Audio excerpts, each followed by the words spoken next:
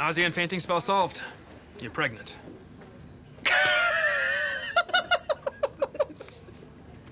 I'm sorry, but she's just not No, I'm not pregnant. Uh, we tested your urine. Trust me, the test is wrong. Uh, false negatives are frequent. False positives are rare. Jane, did you and Michael? No, we didn't. And it may be rare, but it happened because I'm a virgin. A virgin.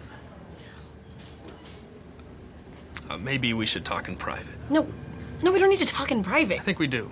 Where did you get your degree from? The University of Dumbass? My daughter said that she is a freaking virgin, so do another damn test.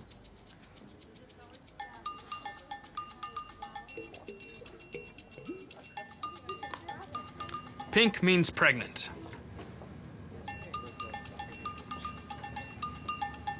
But I've never had sex.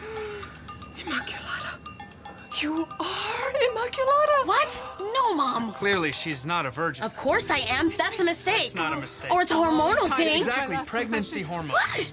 I understand that this is unplanned. Hi, hello. This is Jane Villanueva. I need to talk to Dr. Alver because I have a crazy doctor saying that I'm pregnant. Womb, blessed is the fruit of, of the womb. Jane the Virgin.